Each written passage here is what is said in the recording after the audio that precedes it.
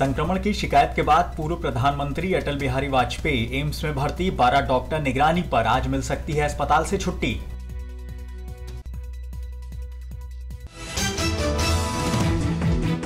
अमेरिकी राष्ट्रपति ट्रंप और उत्तर कोरिया के तानाशाह किम जोंग की ऐतिहासिक मुलाकात आज सिंगापुर में ट्रंप किम की बैठक पर पूरी दुनिया की टिकी नज़रें।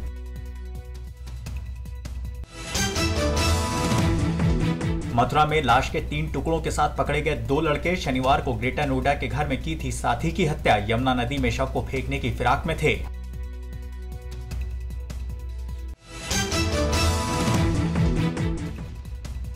कैलाश मानसरोवर यात्रा के लिए पहला जत्था रवाना। इस साल 1500 लोग करेंगे तीर्थ यात्रा। पहले जत्थे में 60 लोग। लिपू लेक के रास्ते जाएँगे कैलाश मानसरोवर।